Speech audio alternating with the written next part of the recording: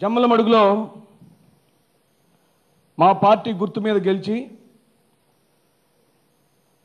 జగన్మోహన్ రెడ్డి గారి నాయకత్వంలో ఎలక్షన్స్కి వెళ్ళి ఫ్యాన్ గుర్తు మీద గెలిచి రాజశేఖర రెడ్డి గారి ముఖాన్ని ఉపయోగించుకొని ఎమ్మెల్యేగా గెలిచిన ఒక జంతువు జమ్మల మడుగు జంతువు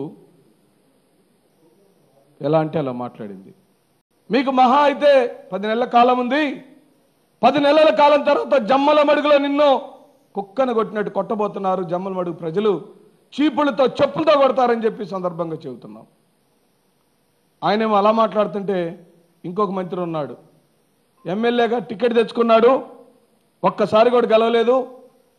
ఇలాంటి మాటలు మాట్లాడించడానికి చంద్రబాబు నాయుడు తయారు చేసుకున్నటువంటి సోంబేరుల్లో ప్రజాస్వామ్యంలో ఈ రోజు వరకు నువ్వు ఒక్క చోట కూడా గెలవలేదు కదయా సోదిరెడ్డి రోజు సోది చెప్తావు. నువ్వు నోట్లోంచి మాట్లాడుతున్నావో నాబులోంచి మాట్లాడుతున్నావో అరికాల్లోంచి మాట్లాడుతున్నావో నీ గోడల్లో నుంచి మాట్లాడుతున్నావో నీ బాడీ లాంగ్వేజ్ అర్థం కాక ఆంధ్ర రాష్ట్ర ప్రజలు నెత్తి నోరు కొట్టుకుంటున్నారయా సోదిరెడ్డి గారు ఎమ్మెల్సీ ద్వారా మంత్రి పదవి తెచ్చుకొని ఖ్యాతగాని దద్దమ్మవి నువ్వు. దద్దమ్మలు మీరు. కుటుంబ సభ్యుల కూడా వస్తున్నావు నువ్వు.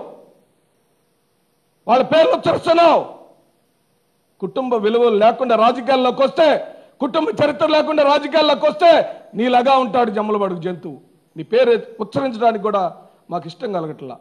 మీరు మా గురించి ఏం మాట్లాడతారని చెప్తూ బీజేపీతో సంబంధాలు అంటున్నారు. స్పష్టంగా చెప్తున్నాం రాష్ట్ర ప్రజలకు. బీజేపీతో ఈ రోజు రేపు ఎల్లుండి ఏ రోజున మాకు సంబంధాలు లేవు ఉండపోవు అని. ఉంటే గింటే మళ్ళీ ప్రయత్నాలు ఏమని చేస్తే చంద్రబాబు నాయుడు చేస్తాడు. ముగ్గురు మంత్రులకు చెప్తున్నా జమ్మలమడుగు జంతువుకి.